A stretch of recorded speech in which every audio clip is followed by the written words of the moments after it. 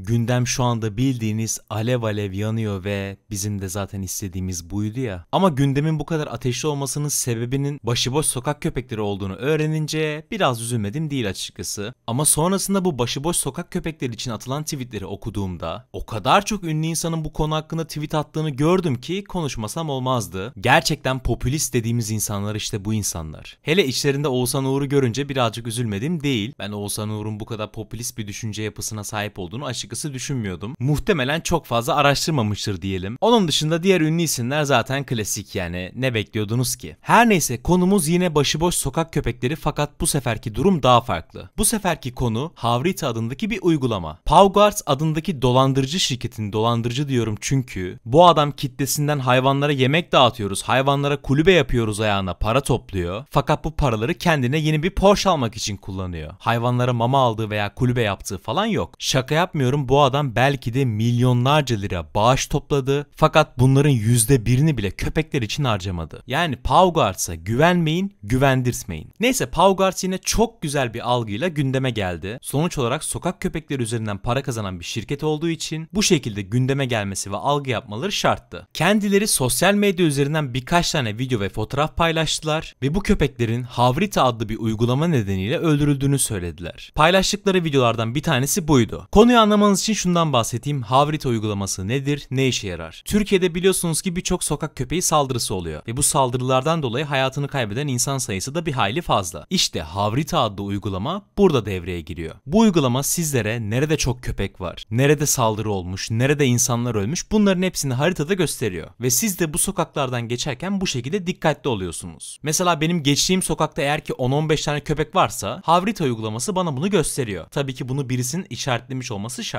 Ve siz de eğer ki böyle saldırgan bir köpeğe denk gelirseniz bunları işaretleyebiliyorsunuz ki insanlar dikkatli olsun. Pau Garza bunun üzerine öyle bir algı yapıyor ki gerçekten beni çok şaşırttı. Güya bazı kötü niyetli insanlar bu uygulamayı köpeklerin yerini tespit edip zehirlemek için kullanıyormuş. Paylaşmış oldukları görüntülerden bir tanesi bu. Şu anda gösteremiyorum ama yavru bir köpek zehirlenmiş ve muhtemelen ölmüş. Ve bu köpeğin Havrita yüzünden öldüğünü söylemişler. Fakat böyle bir şey yok. Çünkü görüntüler 5 sene öncesine ait. Fakat Havrita adlı uygulama bu sene Mayıs ayında kuruldu. Yine paylaşmış oldukları başka bir fotoğrafta ise Havrita uygulamasıyla yeri tespit edilen bir köpek ağaçta asıl olarak ölü bulunmuş fakat bu da yalan. Çünkü bu olay Mart tarihinde gerçekleşmiş. Fakat tekrardan söylüyorum ki Havrita uygulaması Mayıs ayında kuruldu. Yani bu uygulamanın aslında köpeklerin yerini tespit edip onları zehirlemek için kullanıldığı iddiası zırva. Böyle bir şey kesinlikle yok. Ha, tabii ki de dünyada kötü niyetli insanlar da var. Ama şöyle düşünün yani bu kötü niyetli insanlar neden bu uygulamayı kullansın ki köpeklerin yerini tespit etmek için? Ulan şu anda dışarıya çıksam 10 adım atsam zaten 5 tane köpeğe denk geleceğim. Hayvanları zehirlemek isteyen, onlara kötülük yapmak isteyen insanlar zaten bu kötülüğü yaparlar. Bunun için bu uygulamaya ihtiyaçları yok. Yani Paugars'ın yaptığı şey açık ve net bir şekilde algı yaratmak. Ha bu arada şunu da söyleyeyim hayvanları zehirleyen insanlar benim gözümde dünyadaki en karaktersiz insanlardan biridir. Başıboş sokak köpeklerinin büyük bir sorun olduğunun ben de farkındayım fakat senden yemek bekleyen bir hayvana zehirli bir et vermek ve onun bu şekilde ölmesini sağlamak kadar şerefsizce bir hareket yok. Düşününce gerçekten çok üzücü çünkü hayvan karnı doyacak sanıp senin verdiğin yemeği yiyor sonrasında ölüyor sen onu zehirlemiş oluyorsun. Bu yapılan şey gerçekten çok yanlış yani bunu asla savunmadım ve savunmam da. Fakat başıboş sokak köpekleri gerçekten de Türkiye için bir sorun ve bizim artık bu sorunu kabul edip acilen bir çözüm üretmemiz şart. Peki başıboş sokak köpekleri Türkiye için neden büyük bir sorun? Gelin size anlatayım. Hikayemiz aslında çok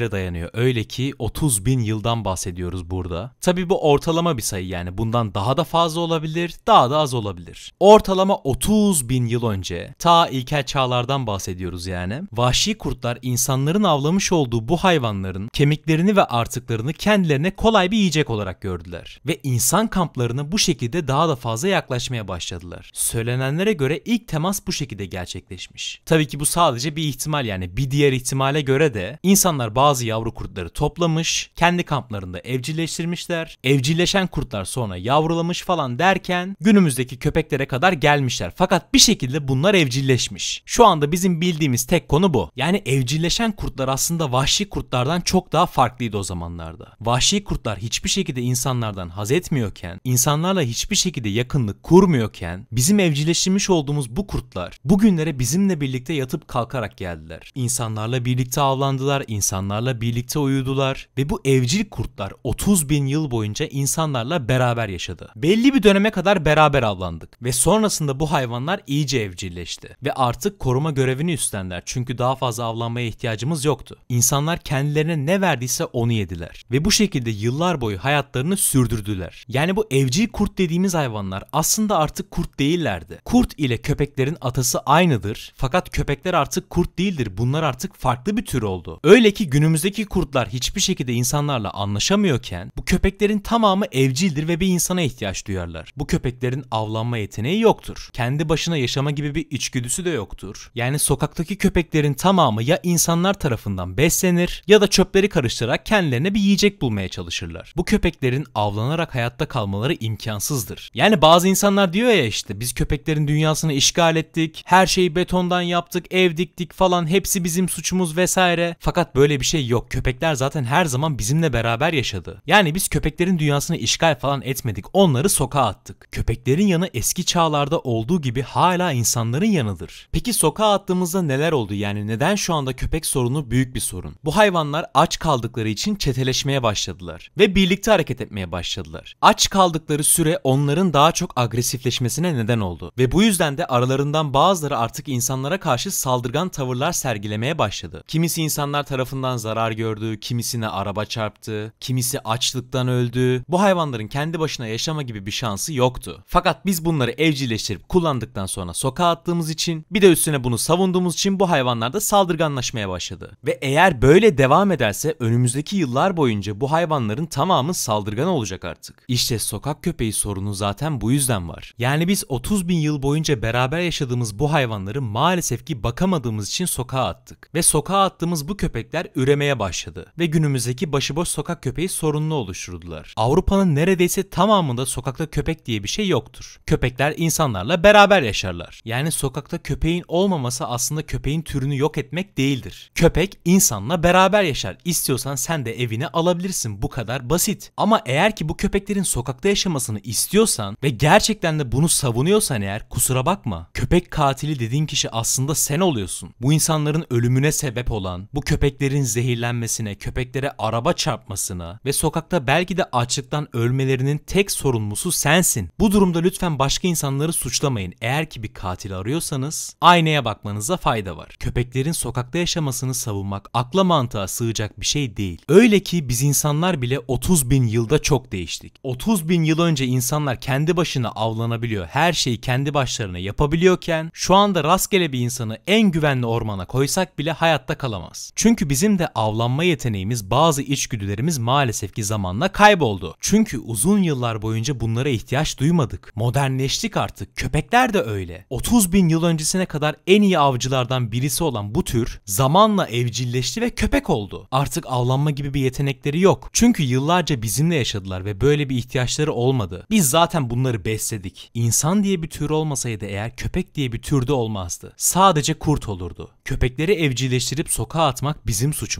Ve siz maalesef ki hala böyle bir suçu savunuyorsunuz. Üstüne basa basa tekrar ve tekrar söylemek istiyorum. Sokakta köpek olmaz. Sokak köpeği diye de bir şey kesinlikle yoktur. Bir köpek asla ve asla tek başına sokakta yaşamını sürdüremez. Bunu aslında kendiniz de gözlemleyebilirsiniz. Her köpek bir insana yaklaşma ihtiyacı duyar. Bu yüzden siz köpeklere kötü davransanız bile size iyi davranabilirler. Siz yeter ki onun karnını doyurun, onu besleyin. Bunu artık kabullendiğinizi varsayıyorum. Sokakta köpek falan olmaz. Bizim şu anda konuşmamız gereken şey bunun çözümü. Çözüm olarak ne yapabiliriz? Yapılabilecek iki şey var. Birincisi tüm köpekleri kısırlaştırmak ki bu en zor olanı. Çünkü eğer ki tüm köpekleri kısırlaştırırsanız bunlar üreyemezler. Köpeklerin ömrü ortalama 15 sene olduğu için 15 sene içerisinde sokak köpeği diye bir şey kalmaz. Tabii ki bu süreçte bunların bazıları sahiplendirecek yani isteyenler kendi evlerini alabilecekler. Onların kısırlaşmasına gerek kalmayacak. Köpek türü tükenmeyecek yani merak etmeyin. İkinci ihtimal ise köpeklerin bir kısmını uyutmak ve bir kısmını da toplamak. Toplananların bazıları da tabii ki de sahiplendirilecek ve bu şekilde bir çözüme ulaştırılacak. Siz bunlardan hangisinin olması gerektiğini düşünüyorsunuz veya başka bir yönteminiz var mı? Bunları yorumlara yazarsanız sevinirim. Umarım bu anlattıklarımdan sonra hala sokakta köpek olmasını savunan birisi çıkmaz karşıma. Lütfen artık bu basit şeyleri tartışmayalım. Çözüme odaklanalım. Sonraki videolarda görüşmek dileğiyle. Hoşçakalın.